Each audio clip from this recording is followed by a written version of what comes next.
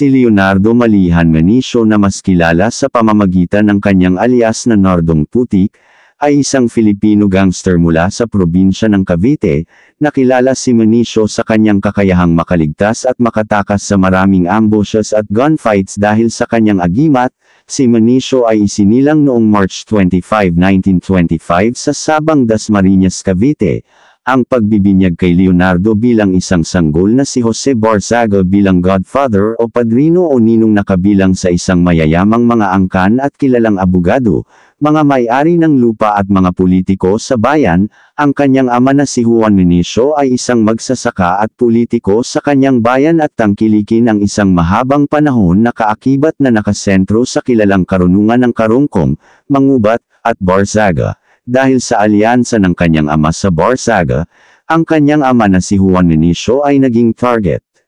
At pinatay at ninakaw ang kanyang mga alagang hayop sa kanilang tahanan noong 1944 sa pamamagitan ng kanyang mga pampulitikang karibal na kabilang ang isang armadong gerilyang grupo sa ilalim ni Colonel Emiliano de la Cruz mula sa Barrio Paliparan Dasmariñas, 14th Infantry Unit.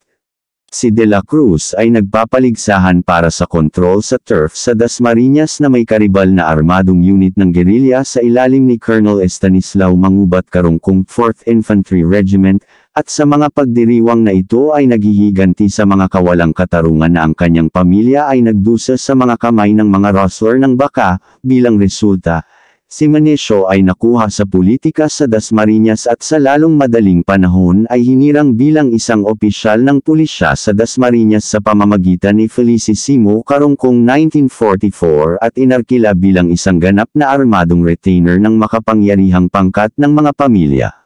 Sa Dasmariñas ang alyansa ng Karungkong Magubat Barsaga, at sa pamamagitan ng kanyang kapasidad, inisa-isa niya ang mga pumatay sa kanyang ama at binigyang katarungan, Si Putik ay kasal kay Feliciana. Ngunit maraming mga common law wives, mayroon siyang isang lalaking anak, si Leonardo Jr., at dalawang babaeng anak, sina Angelita at Estrelita sa kanyang legal na asawa.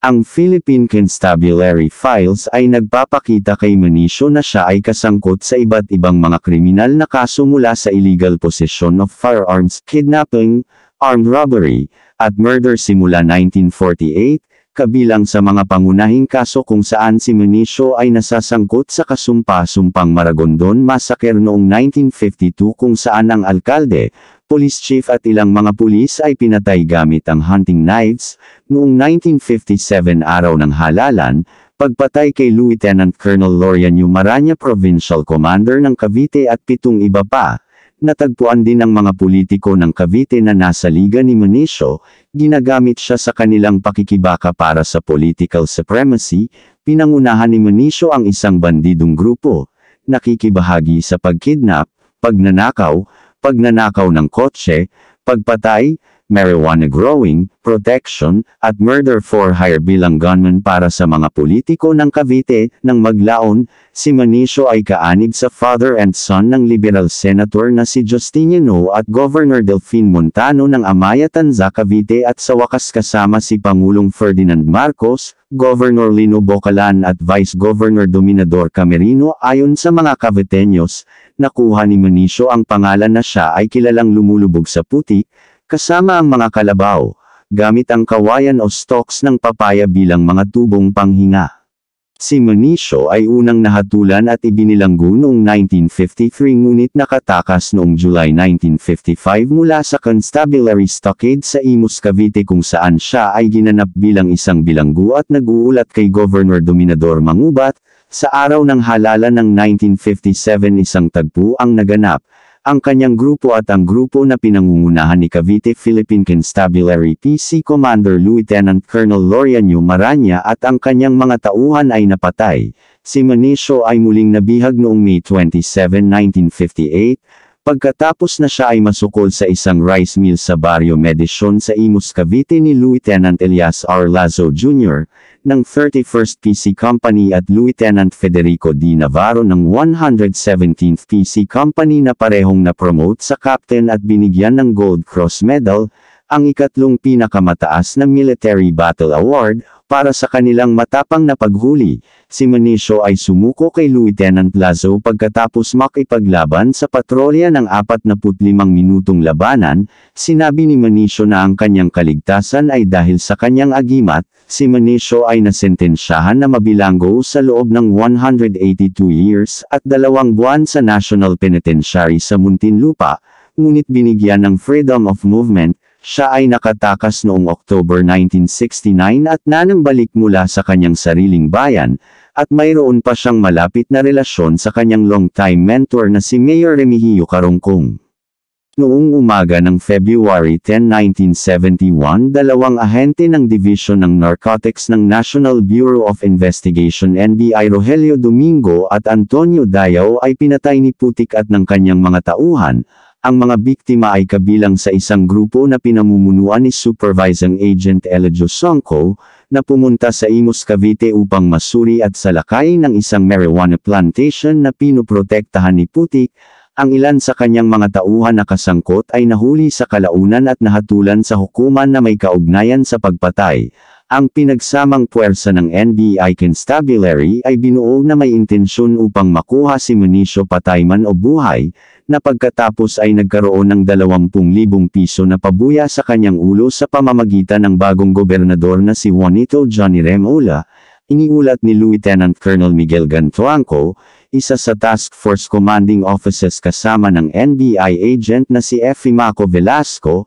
ay nagtangkang hikayatin si Municio na sumuko sa pamamagitan ni Bishop Vicedo ng Caloocan, ngunit ang pagtatangka ay di napatutunayang walang bunga. Noong October siyam hanggang 10, isang libo siyam naraan at pitumput-anim na tinangka ng task force na sundan siya, upang malaman ang kanyang hideout at sa ikasampu na ambush ay inihanda ng constabulary sa pangkalahatang lugar sa maagang oras ng umaga kasama ang posibleng mga ruta na pwede niyang daanan. Noong October 10, 1971, ang red Chevrolet Impala ni Manisio ay dumating sa isang checkpoint ng highway ng task force sa pagitan ng Panamitan at Kawit, tumanggi si Manisio na sundin ang mga signal para sa kanya upang huminto, at ang dalawampu na binuo na mga ahente at mga opisyal ng pulis ay nagpaputok, at halos agad siyang napatay, na-recover sa kanya ang isang revolver, 300 piso, $150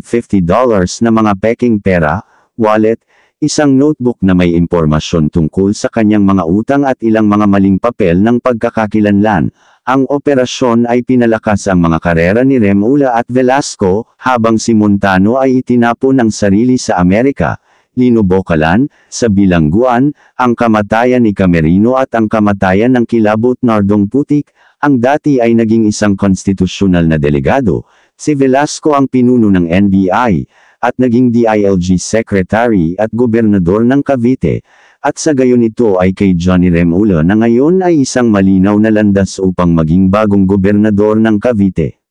Sa pagkamatay ni Manisio, ang ilan sa kanyang mga tauhan ay inaresto, kinasuhan at hinatulan sa korte para sa pagpatay at iba pang mga pagkakasala, ang pagpatay ay sinalubong din ng iba't ibang reaksyon sa Cavite dahil nagkaroon siya ng reputasyon bilang local Robin Hood dahil ang kanyang mga kriminal na pagsasamantala ay pangunahing nakatarget sa mga mayayaman, lumitaw ang isang alternatibong teorya tungkol sa pagkamatay ni Manesio, na sinuportahan ng ilang kaibigan ni Manesio, isang kakilala sa press at isang dating hepe ng pulisya, ang bersyon na ito ay nag-claim na si Manisio ay pinainan sa isang resort, nilagyan ng droga, at inilagay sa impala, kung saan ang mga humahabol sa kanya ay pinaputukan ng kotse upang bigyan. Ang ilusyon na siya ay namatay habang lumalaban sa pag-aresto, isa pang alamat ng kanyang tunay na pagpanaw ayon sa mga alamat ng Caviteño, si Nardo ay inimbitahan ng isa sa kanyang kaibigan kumpare,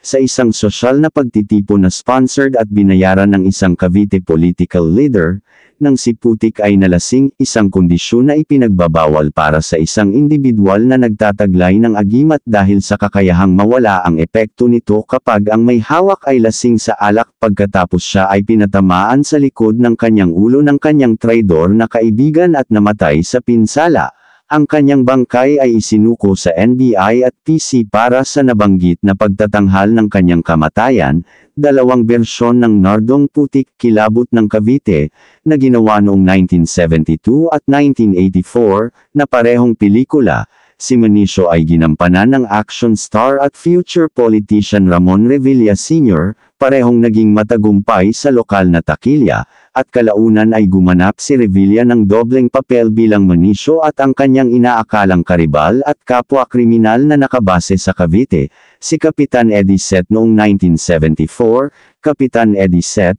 Mad Killer ng Cavite. Ang mga pelikula ay nakapitalized sa hindi kapani-pani walang anting-anting ni Manisio, parehong nakabatay sa kanyang buhay habang inilalarawan siya bilang isang anti-hero.